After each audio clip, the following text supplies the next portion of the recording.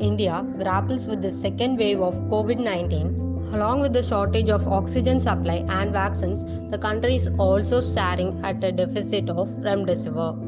With remdesivir emerging as a crucial medicine for a major chunk of severely affected patients, the surge in cases has led to a rise in demand for this medicine. Following the rising demand, the Tamil Nadu Medical Services Corporation established a center at the Government Kilpauk Medical College KMC in Chennai for selling the medicine. Even though the center was established with the purpose of serving everyone and to tackle the shortage of supply, people are being forced to wait in long queues to get the medicine. This has become a common scene in the recent past. NewsClick met with a few of the people who have suffered this ordeal. because this is the only place uh, the distributing the uh, COVID injection to all the people. Entire Tamil Nadu coming here. That is not a good one. Why can't you distribute to some other uh, government hospitals so that the people will not come from outside? Even city people also will not come. See, I am residing from uh, Triplicane. The Omandurar hospital is very near to my uh, house, just one kilometer. Rapida is uh, two kilometers. So if you if you if you dump those pe- those items in that hospital, people easily go there and uh, buy. See now my wife went inside two and a half hours back.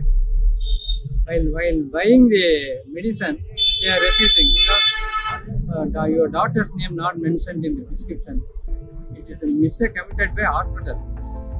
Not these people are myself or my family members. Those people have to realize. Yeah, I'm aged, uh, 73. Already last year also I had a uh, corona problem. I was admitted in a private hospital. For senior citizen, they can give a separate counter. That's my special advice. I'm waiting here for 10, from 10 o'clock here to get the medicine. Uh, it's a long, very long queue, nearly two and a half kilometers nearly. So 2,000 people are waiting here. Should be avoided keeping a two or three more, more locations to help the people. On the other outstation, people are also waiting with me. That is not acceptable. People can open uh, counters in different places. I request the government to do that immediately. But it is advisable to open a uh, okay. definitely required because uh, struggling here, very hot sun. Yeah, I am not used to it for sun, waiting in the sun. I'm finding difficult here. This is the third day I'm waiting. First day I have come on Monday. So Monday evening I came, but I didn't get it. Again I came on Tuesday. I didn't get it. Wednesday I came, I didn't get it. And Thursday this is my the fourth day I'm coming here. So hopefully I should get this day. There is a lot of crowd and there was no proper management. There is less number of counters. NewsClick also spoke with public health activist Dr. Santhi about the relevance of remdesivir and the current crisis.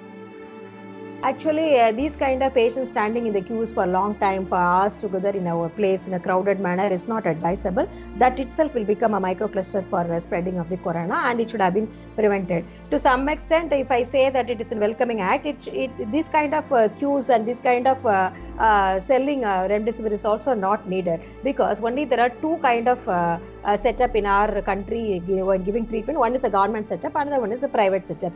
In government setup, government doctors are going to use uh, through their own uh, mechanism. So in the private hospitals, uh, it is obvious that the home quarantine patients are not going to get uh, injection remdesivir. Like that, uh, hospitals with the capacity to give oxygen, private hospitals with the capacity to give oxygen, with the capacity to admit COVID patients are only going to use uh, injection remdesivir. So the same mechanism, getting the patient's name, uh, Aadhaar card, and CT chest uh, report, all those things uh, uh, can be obtained from the private hospital itself and the drug can be given directly to the private hospitals so that there is no need for uh, these kind of long queue and keeping those kind of queues in uh, uh, those kind of uh, sell, selling places uh, centers in uh, different parts of Tamil Nadu. Why means uh, the, if uh, private hospitals in the nook and corner of Tamil Nadu is able to uh, procure this injection from a government for a needy patients uh, after uh, submitting the details of the patient, that itself is going to solve the problem. It is not advisable to give the prescription to the patient's attender and ask them to uh, get it from somewhere or from government portal or a private portal.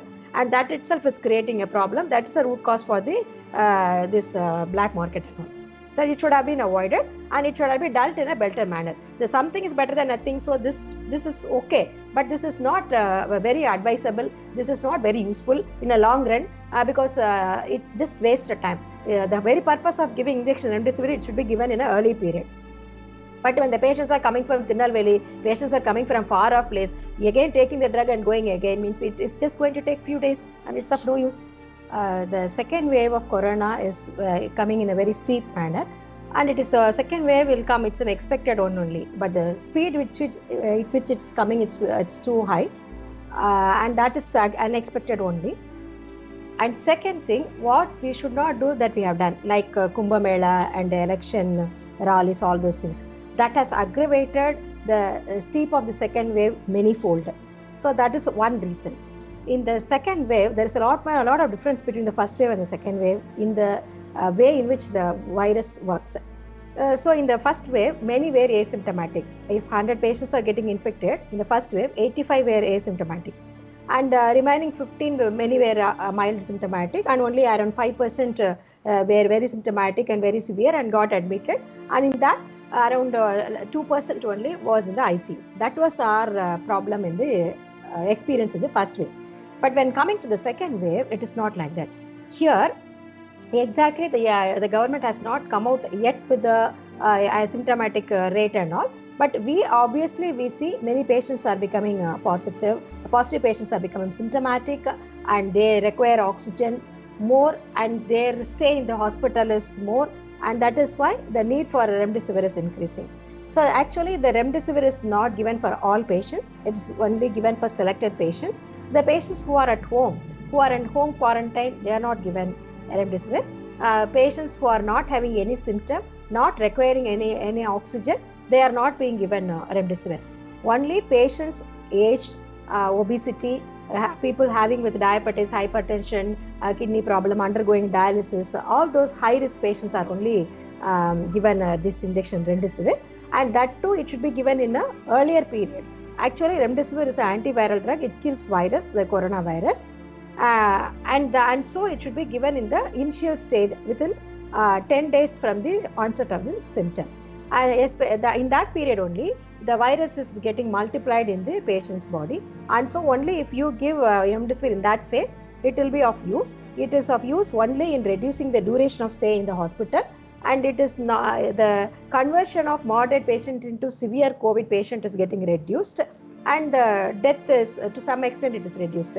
But no doctor is telling that it is 100% very useful in all the 100% of cases in all kind of way. It is useful in a selective patients. It is if it is used in an earlier stage, and that is the that is the advantage of the drug. Because of the sudden rise of uh, in cases in the second wave, and uh, uh, and the need for ASM more in the number of cases of the symptomatic patients, the need for injection remdesivir more. And on the other hand, the production was not done proportionately to that extent, and that's a problem. And the first wave, we had only uh, seven uh, uh, manufacturers who were producing uh, injection remdesivir, and uh, government is not at all interested in producing uh, injection remdesivir through public sector companies.